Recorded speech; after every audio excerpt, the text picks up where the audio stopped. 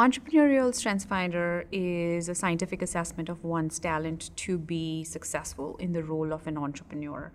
So, what it does is it allows self awareness for the individual who takes the assessment, um, their ability to recognize how successful they will be in the role of an entrepreneur and what are some of the things that he or she can do better um, to be successful in that role. As we were going through the research, and we of course identified lots of different types of traits that can affect business outcomes, um, we finally narrowed them down after a lot of um, analysis and uh, statistical um, tests that we, we ran on the data.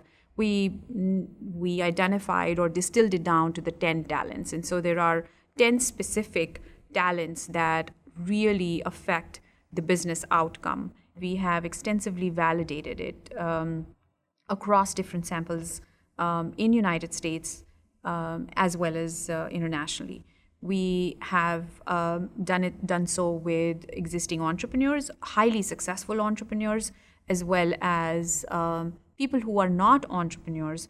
Um, in in our effort to understand and identify who among them who are not entrepreneurs could also have that talent. When we were building the assessment, um, the, the first step in that is to do a job analysis, a very detailed job analysis of what is it that successful entrepreneurs do on a day to day basis that makes them successful.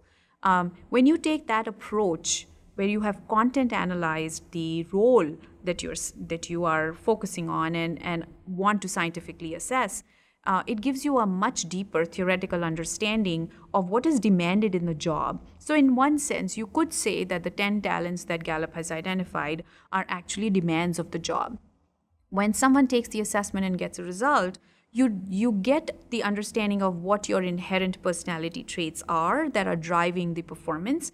But in the, on the other hand, and I think that's very important, is you do get an understanding of what is it that will be expected of you on the job in that role to be successful. This goes back to Don Clifton's strengths theory of, you know, we have spent a lot of time in psychology trying to understand what's wrong with people and then trying to fix those weaknesses.